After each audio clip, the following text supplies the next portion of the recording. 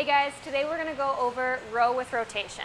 Now the exercise movement is just that, it's in the name. It's a banded row with an extra trunk rotation. So you're gonna start with a split stance. So the arm that you're working, that leg is gonna be back behind you. You're gonna pull the resistance band towards your chest, aiming to bring that shoulder blade towards your spine, and then rotate the trunk to face away. So you're pulling here, rotate 90 degrees just at the trunk, keep the hips right where they are, and coming back.